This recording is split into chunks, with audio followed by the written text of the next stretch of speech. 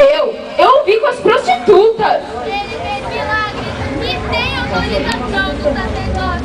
E eu o ouvi condenando os ricos e os chamando de injustos. Falou também que destruiria o templo e o reconstruiria em três dias. Nada respondes do que este depõe contra ti.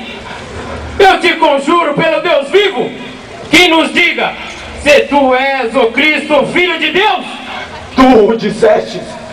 Entretanto, eu vos declaro que as minhas obras dão testemunha de mim. Elas testemunham mostrando que quem me enviou foi meu Pai. Eu não acredito nos homens, pois já os conheço muito bem.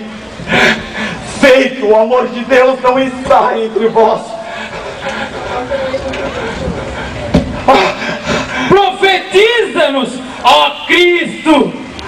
Quem é que te bateu? Não vais falar?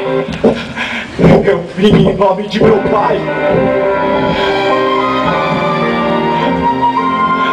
Mas não quiseram me receber.